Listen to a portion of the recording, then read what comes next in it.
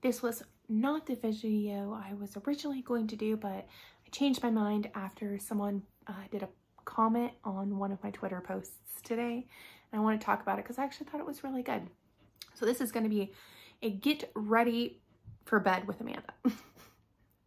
so the post I did was distilling down my one year carnivore journey into a sentence.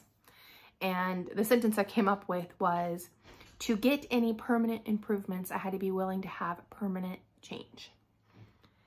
And that is what made me realize all of the yo-yo dieting that I've ever done, I failed because I wanted to do something temporary to get permanent results, but that's not how it works. If we want something permanent, we have to be willing to make permanent changes.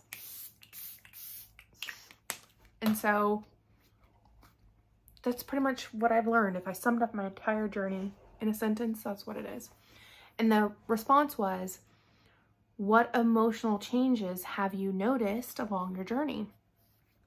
And the thing is, is a lot.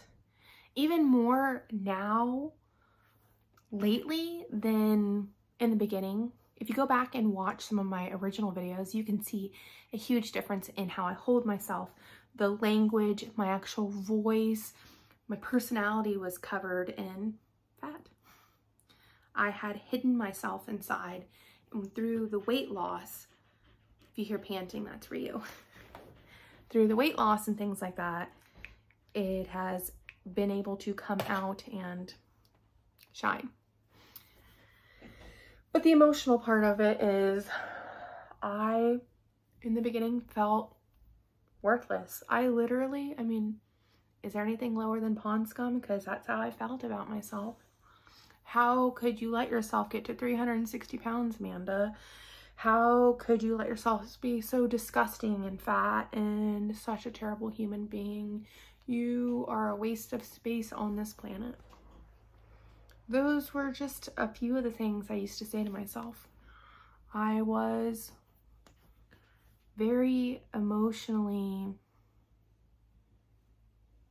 painful and if you've watched any of my other videos about this, you guys have seen that I was just slowly committing suicide. Death by eating, death by gluttony. And that's where I was. I was too afraid to do anything about it. And the one thing that used to always go through my mind is I had a patient that had attempted to commit suicide when I worked in the hospital in Minnesota and she did not succeed and it left her in a very bad state physically, I mean mentally probably even worse. And it's such a dark place. It's like being in the darkest of dark caves. If you've ever been spelunking, there's it's so dark down there that it's just it's literally pure black. And that's what you feel like you live in in that. And that's that is exactly where I was at. I'd given up hope, didn't believe in myself. On the emotional side of it, I was apathetic. It's a very weird feeling to explain. I was apathetic about life, but also severely depressed and sad. I just didn't care. Didn't care if I got out of bed, didn't care if I brushed my teeth, didn't care. Just didn't care. Food was my only thing I had. My ability to regulate my emotions did not exist. Just didn't exist. And then carnivore. That's a lot of sadness. And then carnivore it just, within a few weeks, it was like a light switch just being flipped.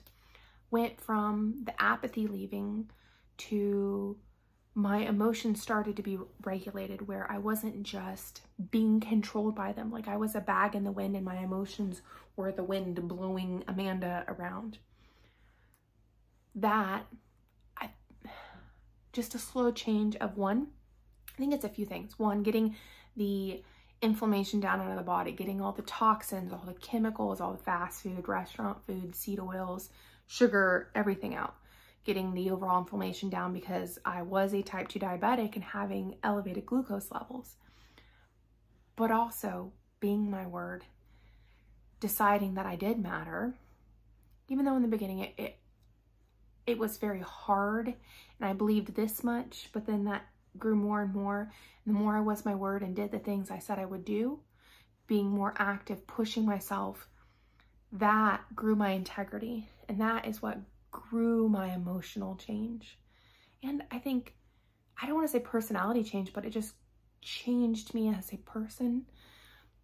The growth that comes with it, that just, I can't, can't even explain it. Going from being, doing not a great job of explaining it right now either, just going from not caring if you live to waking up every morning being glad you woke up, looking forward to going to sleep.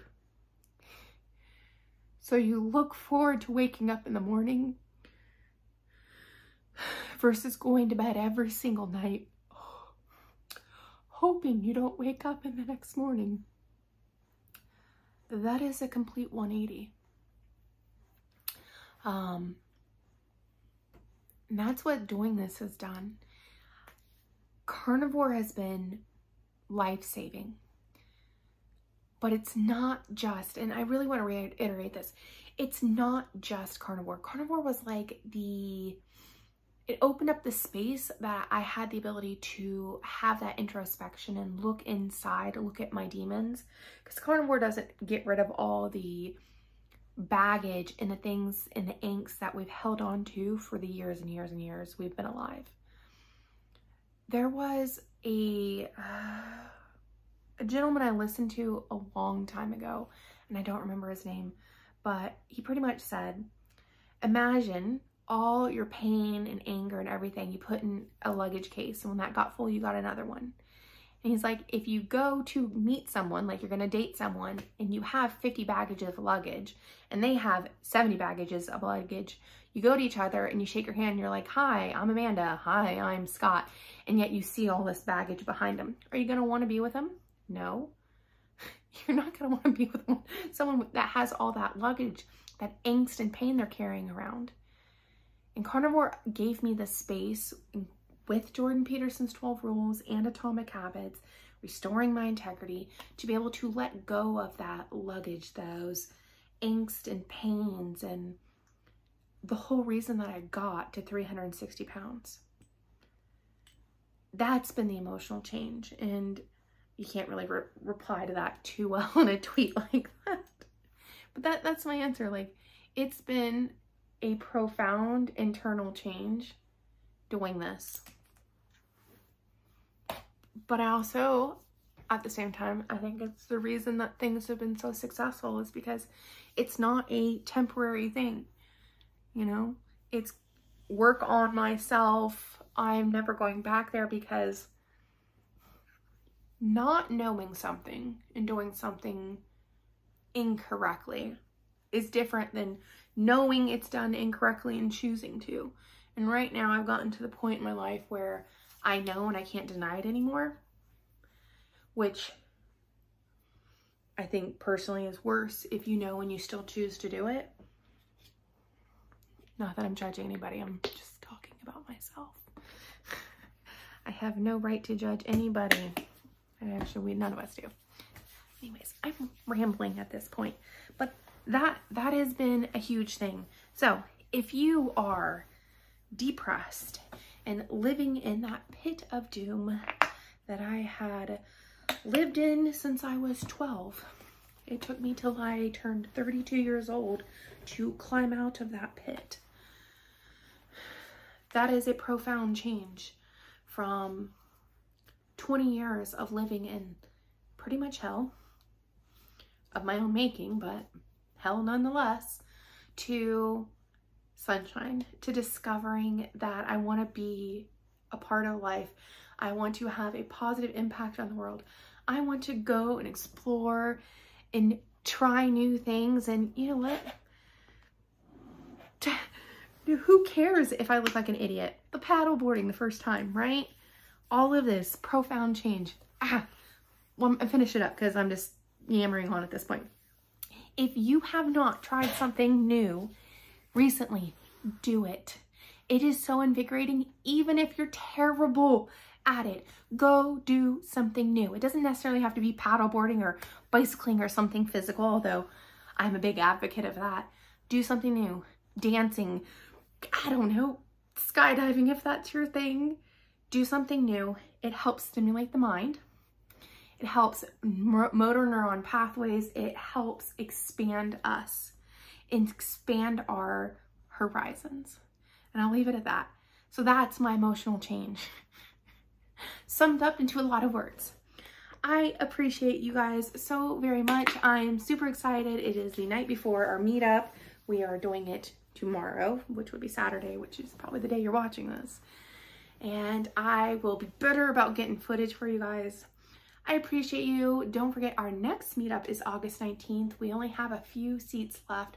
We're going to be doing the rail cycle at Mount Rainier. I'm very excited about that. Anyways, I appreciate you guys. I will talk to you soon. Thank you for getting ready for bed with me.